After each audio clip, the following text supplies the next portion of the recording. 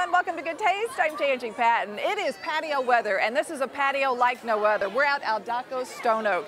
You're in for a real treat. Blanca Aldaco shares her recipe for her enchiladas verdes. Check them out.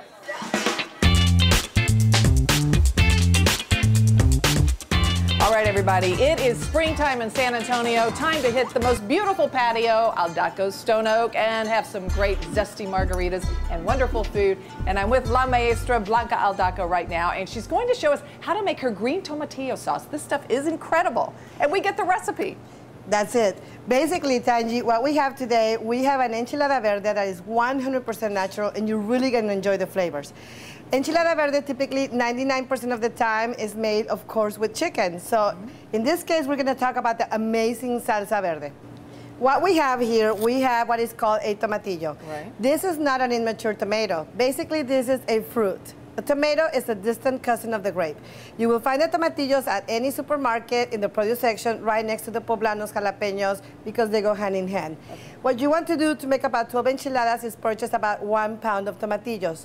You purchase them about the size of a half dollar coin. They're great. This means that they're good in flavor, in size. They're not too tangy or tangy, or they're not too immature, or they have lost their flavor because they're too large. What you want to do is remove the skin right here and you discard and you continue to open up and open up. Okay. What we have then eventually you're going to have your tomatillos and you're going to end up adding them in boiling water with onion. I recommend only white or yellow onion, not purple because it will change the color and the flavor of your finished product and some diced bell pepper. Very simple. The last thing that you do to seal the deal and make uh -huh. it a salsa, uh-huh. what you do here, you're going to add one jalapeno, complete. You don't have to open it up. Just okay. remove the stem, boil that.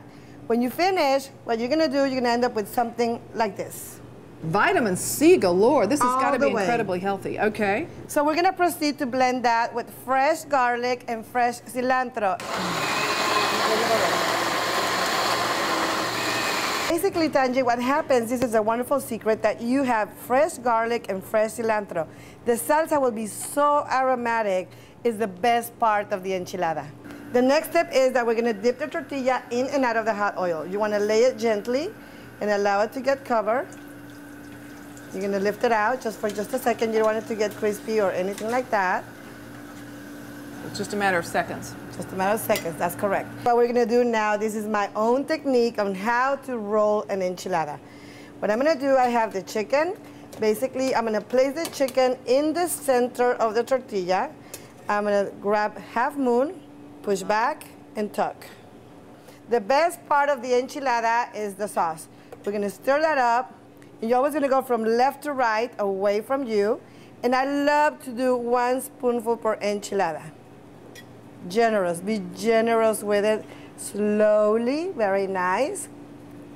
It's time to melt the cheese. You decide how much cheese, whether you want just a little bit or a lot. Whatever it is, make sure that it's flat. That way you have a beautiful piece of work that's edible and you fall in love from the moment you see it. So there, there you have it. 100% natural, you just decide how much cheese or how many dairy you would like, but in this case, it's really good for you and bon appetit. It is delicious, Blanca. Mm. Gracias. A ti, amiga.